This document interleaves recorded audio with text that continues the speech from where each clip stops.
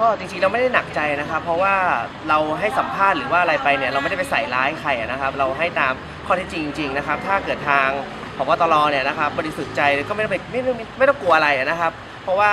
เราทำหน้าที่ตรวจสอบในฐานะประชาชนธรรมดานะครับ ก็หวังว่าจะได้คำตอบที่เราต้องการแต่เราก็ยังไม่ได้นะครับ อยากจะให้พบตรเนี่ยเอาเวลาให้ให้ตำรวจมาตรวจสอบผมเรื่องให้สัมภาษณ์หรือเรื่องคำพูดอะไรต่างๆเนี่ยนะครับ ไป ไปดูแลไปดูในเรื่องของที่ผมร้องไปดีกว่านะว่ามันมีการทุจริตกันจริงหรือเปล่า ผมว่าอย่างนี้น่าจะเป็นประโยชน์กับประชาชนมากกว่า จะมาเอาผิดกับคนที่ยื่นร้องเรียนในเรื่องที่รัฐได้รับความเสียหายนะครับ ก็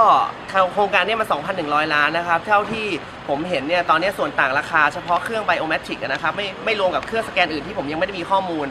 เครื่องไบโอเมตริกไอตัวที่มันเป็นสแกนหน้า แล้วก็ลายนิ้วมือนะครับ แล้วก็มีเครื่องอ่านอีกตัวหนึ่งนะครับสอง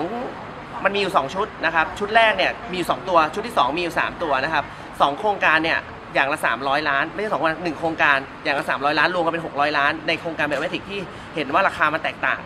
นะครับก็เราทำในฐานะประชาชนนะครับ ผู้ที่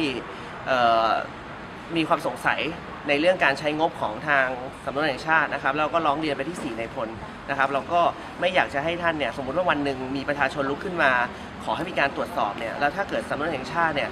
จะดำเนินคดีกับคนที่ร้องแบบนี้ทุกเรื่องหรือเปล่านะครับถ้าแบบนี้เนี่ยคนอื่นเขาจะกล้ามาตรวจสอบหรอนะครับ เพราะว่าผมคิดว่ามันน่าจะโปร่งใสอะนะครับ ถ้าเกิดว่าไม่ได้ทำอะไรผิดก็ชี้แจงมาไอ้ที่ที่ผมสงสัยนะครับ ไปชี้แจงเอาเวลาไปชี้แจงกับปปชก็ได้นะครับ หรือว่าจะ แถลงข่าวนะครับ ว่ามันไอ้ที่ผมพูดเนี่ยมันไม่จริงยังไงนะครับ ทุกวันนี้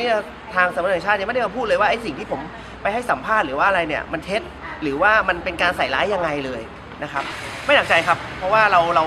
บริสุทธิ์ใจนะครับ เราไม่ได้ไปใส่ร้ายท่านผบตรนะครับ